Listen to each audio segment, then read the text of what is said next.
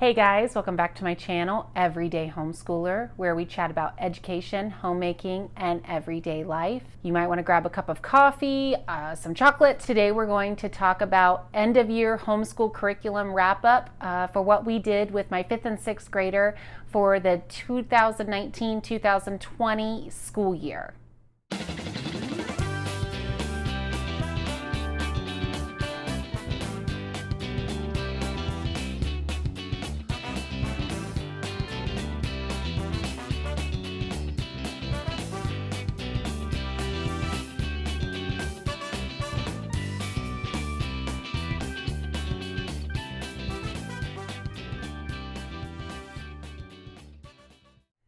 So, for those of you who may be new around here, my name is Sarah and I have five children. They are ages 12, 11, 7, 2, and then I have a new baby, eight months old. This year was our eighth year homeschooling, and I have done school with a sixth, a fifth grader, and a kindergartner.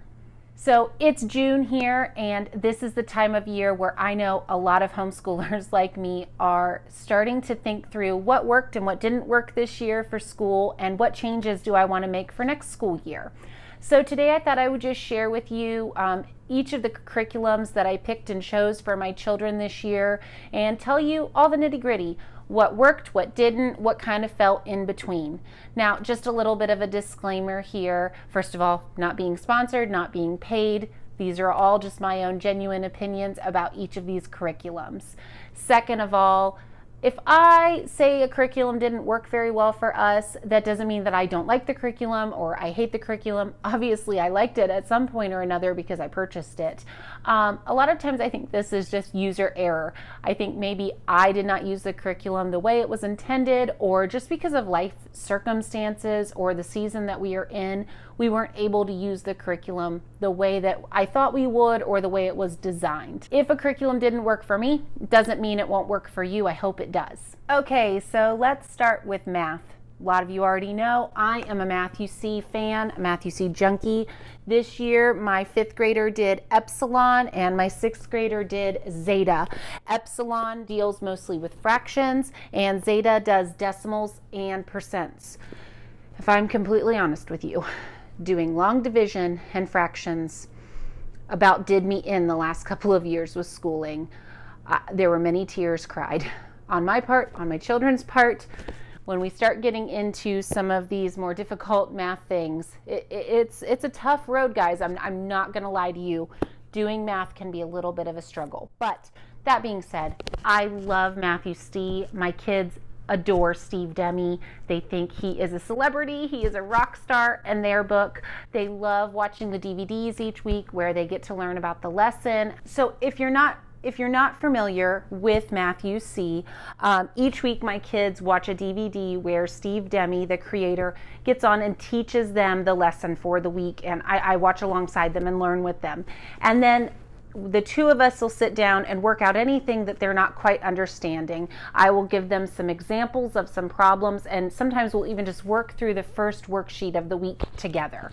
Then there are between five and six worksheets that they will continue to work on their own. Every day, my kids normally do about one math worksheet. And then at the end of the week, there is a test workbook that you can use. Now, for Math-U-See, what I have done up until this point, and I think I'm going to change this this year, is we have not used the test book throughout the year. I save the test book for when we take a summer break or longer breaks, and I let my kids use that in lieu of doing math through the summer. And it's just kind of a nice built in review. They go through the test book and redo the tests and watch any videos that they need to use. So that's where my kids currently are. They have both completed these levels and are now doing their test books as review work for the summer. Um, I think next year, when we're moving more into junior high age, we're going to start doing the tests every single week as the curriculum intends. Um, one of my favorite things about Math-U-See are the manipulatives. In the younger years, they are using all of the math blocks. And actually, when they do fractions and decimals, there are new manipulative sets that go along with these. There are fraction overlays and some decimal, um, just little block kind of things. And they are really helpful, especially if you have a visual learner. Math-U-See as it as it says, is it's Math-U-See that you can visualize and understand. We, we love Math-U-See. We will continue to use Math-U-See for years and years to come. This worked great in our homeschool this year. Okay, let's talk all things language arts. I have quite the stack here. First and foremost, we have used IEW. This is just the teaching, writing, structure, and style um, that goes along with all of the IEW programs. This year, both of my kids did the continuation A course. Um, it was a DVD course, and they, they did a lot of it independently in the afternoons without me. I love IEW. It is actually the way I wish I would have learned how to write when I was in school. We didn't complete the entire program this year. We, we did a lot. Um, I would say we're about 60, 70% of the way through. Um, we just, having a baby this year, having a toddler, it, you know, it was just one of those subjects we didn't always get to consistently. However, if you are looking for a very thorough and robust writing program, IEW is the way to go. So I would just encourage you to head over to their website, look at their different programs. Um, it's something we will continue to do, um, or at least supplement with in our in our homeschool for years to come. All right, this is another product from IEW. This is the Fix It Grammar series. Um, this is something we started last year. Last year we did level one, and this year my kids moved into level two Robin Hood. Um, we started out strong in this book. If you are not familiar with Fix It Grammar, again, I would encourage you to head over to IEW's website. But the premise behind it is, is that essentially your child is reading one sentence every day and from a story for this year it is Robin Hood. Other years there's The Nose Tree or The Little Mermaid, but um, a good classic piece of literature. They are reading and writing it out one sentence at a time, one sentence per day. And then they are going through and marking the grammar that they are learning in that sentence. So, for instance, in the first weeks, maybe they are going through and marking all of the nouns and all of the verbs in the sentence. By the end of the year, they are having to mark different clauses, prepositions, all, all types of things in grammar. And they are also, there's an, um, a piece of copy work with this as well, where they are then copying the sentence each day so at the end of the year, they have copied the, the entire piece of literature. I definitely really love this style of grammar teaching for my kids. It, it's a very much a gentle approach, and if your kids like IEW are familiar with Andrew Pudewa, this, this is just a really hand-in-hand -hand activity to go along with it. Part of this curriculum that we just personally didn't do was the copy work. We do copy work in a lot of other areas of our homeschool and my kids just they get a little bit tired of doing all the copy work. So that was one part of the program we did skip. But they did go through and do the daily sentences and marking up of all of the grammar. I would say that this is a really good challenging program. There are parts of grammar in this book that, that I don't remember learning even in high school. It's it's a really great um, program. I would definitely tell you to look into it more if you're looking for a grammar solution for your upper elementary, middle school kids. Okay, so spelling you UC. You guys know I did a, a video review of Level D Americana just a few weeks ago. If you haven't seen that, I'll link it below. Go check it out. I love Spelling You UC. This program is fabulous. Um, it is something that we have just been kind of plugging away at slowly. I'm really focusing in on spelling mastery with my kids, and so I'm trying not to push them too quick to, you know, along through the books. So we are in level D for fifth and sixth grade, and I think that that's totally appropriate. Again, it was a lot of history passages, which were really fun, and I just love all of the chunking. And you guys just just go watch my video about spelling You see level D. Okay, and so then that leads us to reading and literature. I am going to do a video about how we handle literature in our household, but I'll just give you a little bit of a introduction plug right now. We do what is called, what we've deemed literature logs in our house where my kids will independently read a book right now for my fifth and sixth graders that those are chapter books um, they will read uh, a passage or so many pages or so many chapters in that book every single day, and then they will do some writing about it and some illustrations about it. And so that's how we did literature this year, and it just it works so well. It doesn't cost very much, um, just whatever book you're reading and some paper and art supplies. And so we will definitely continue to do that this next year. I went ahead and asked Noah and Leah what their favorite books that they read independently were the Green Ember series. If you are not familiar with S.D. Smith and this series, oh my gosh, it, it is so, so good. There's also audiobooks that they are just so well done. All of my kids have actually listened to a good portion of this on an audiobook, but Noah has read these independently, and these were his favorite books that he read this year. Leah, for the last, oh, almost going on a year now, has been working her way through the Little House series. She, she just loves Laura Ingalls um, and Mary. She just loves these stories and just pours into these for hours and hours. So this was her favorite literature this year. While we're on the topic of reading, I, I do a good bit of reading aloud in our house, or at least I try to. We also listen to a ton of audiobooks, and honestly, this is all because of Sarah Mackenzie. You guys know her. I'm sure you love her as much as I do. If you've not heard of Sarah Mackenzie and the Read Aloud Revival, I would encourage you to go check her out. We try to do a good bit of reading aloud every single day and listen to audiobooks, especially at meal and bedtimes. I asked the kids what their favorite read aloud was from the year, and both of them said The Sign of the Beaver. They really enjoyed this book. It went along with some things we were studying in history, and if your kids like the Little House series, this, this would be right up their alley. So while we're talking language arts, I'm just going to go ahead and dive into Bible we don't necessarily consider Bible part of our homeschool. It is not something that I'm necessarily requiring my kids to study every single day. But in our home, we definitely encourage our children to read their Bible and study their Bibles. Um, something I purchased for both of my kids this year, my 11 and 12 year olds, um, was this book called Exploring the Bible, a Bible reading plan for kids, and it's by David Murray. And this is this is such a good book. Um, it is very simple. It just goes through and gives your children chronologically, starting at the beginning of the Bible, working its way through um, a passage for them to read every single day. And it gives them just one question about the verses that they're reading. And they just kind of journal as they go and answer the questions and read along.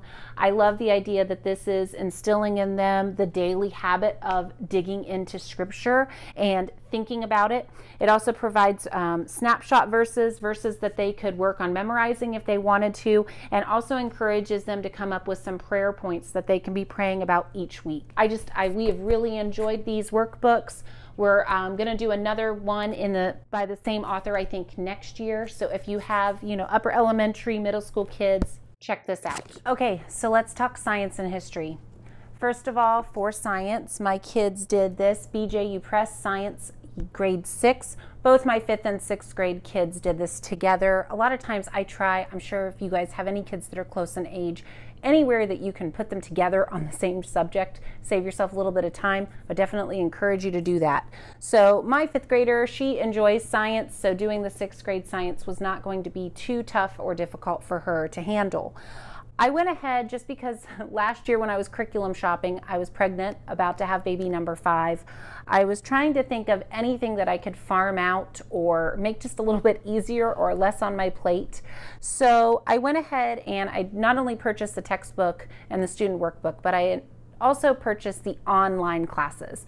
And if you're familiar with BJU Press, you know that they offer it's it's several hundred dollars per class, um, but it's the idea where your kids can basically do somewhat of like a distance learning.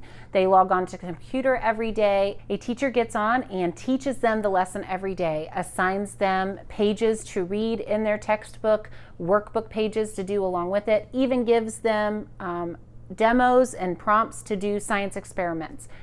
I thought it was going to be a really great fit for our family.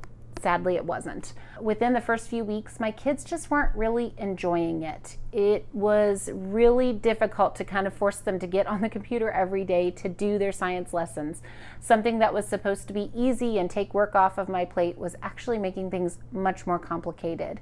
Now, again, I think maybe that's just my kids. I don't think my kids love the idea of just doing school on the computer. They are much more interactive. They like to, you know, sit at the table together and do the work as a family. So it just it wasn't a very good fit for for my kids. I, I could see it definitely working for other people. But what I will say is I do definitely love the textbook. We enjoyed reading a lot of the lessons in here. Um, it is just very beautiful. It's a very traditional school-based kind of uh, curriculum. The pictures are really great. The information is very thorough and detailed. It does come at science from a Christian perspective, from a creationist uh, perspective. So just just so you have that, so you're aware of that. And also the experiments that went along with it were pretty simple and easy to do. I had a lot of the materials already on hand at home. Sadly, this just did not work the way I wanted it to. The online class was a bust, and I hate wasting money that way. But sometimes you just learn, especially with your older kids, by trial and error. For history, we did actually, this was year two, we have worked on this curriculum. America the Beautiful by Notgrass. You can see how big this text is. This is actually part one. There's actually two books to this. Both are this size. It's a very traditional homeschool curriculum where your child is just reading, answering questions, and doing other things along with it. There are great pictures in here. The information is fabulous. At the end of each day, it gives your child some additional activities and assignments. We didn't do all of these, we kind of picked and chose, um, but I did go ahead and purchase to go along with this, with these two books. We did the student workbook which gives your child review questions and activities to go along with each lesson, crossword puzzles, word searches, you know, those kind of things. There is also a timeline book and a maps book. So they can go through and this is their geography and then also it's really helpful to kind of see where they are in the timeline of what they're studying. As you can tell, this is a this is a pretty beefy beefy curriculum and I loved it. I, I definitely did. But this kind of gets to my point of why we kind of dropped science and history by about midway through the year. And this is where I'm going to talk about Gather Round. We ended up dropping a good bit of our curriculum and switching to Gather Round right after Christmas. I, as mama, was just getting really tired of, you, you know, you can tell I'm a pretty eclectic homeschooler and like different curriculums for different subjects. But that was just getting really wearisome. Um, I was just felt like I was from dawn till dusk running from one child to the next, one subject to the next, and having to check all those boxes every day. I just I couldn't do it anymore, especially with a toddler and a baby in the house.